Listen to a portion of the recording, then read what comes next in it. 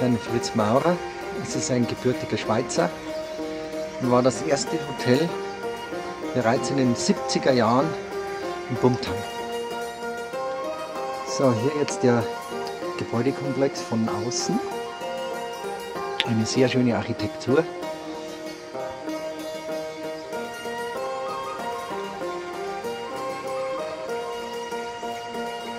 Weiter vorne hier nochmal ein Zimmerkomplex.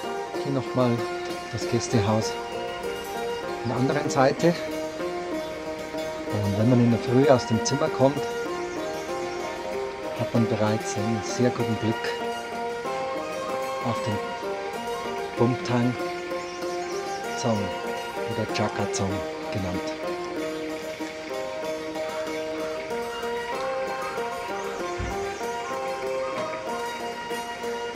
Das Swiss liegt ganz ruhig abgeschieden und alleine.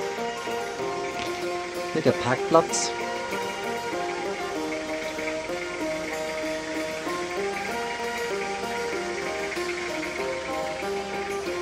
Hier das andere Gästehaus, das schon etwas länger steht. Hier sind auch Zimmer untergebracht.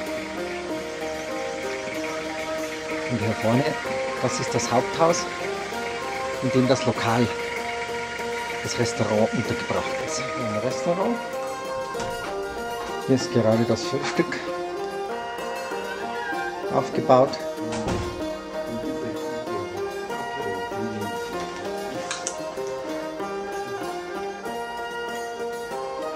Der Holzofen brennt. Das hier war unser Tisch.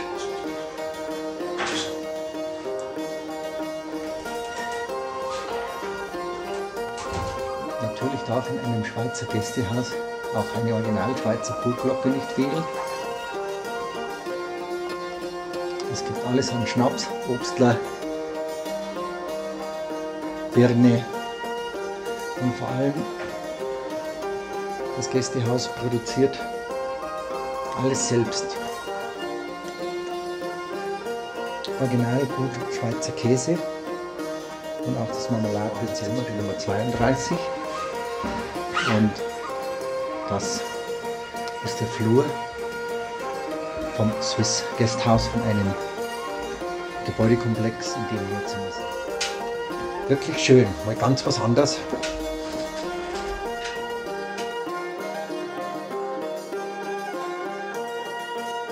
Jetzt sehen Sie hier im Swiss Guesthouse das Bad.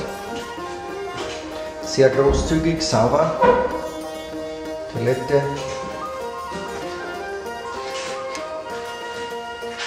di dusci.